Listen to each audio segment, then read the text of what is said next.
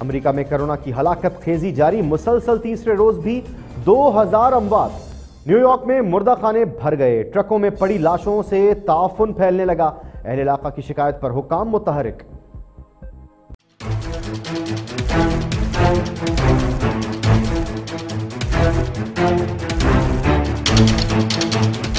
Corona virus के बाद अमरीका में मुसलसल तीसरे रोज तकरीबन 2000 के करीब अमवात के बाद मुल्क में हलाकतों की मजमू तादाद चौसठ हज़ार के करीब पहुँच गई है। जबकि वायरस से मुतासर अफराद की तादाद 10 लाख से भी बढ़ गई है।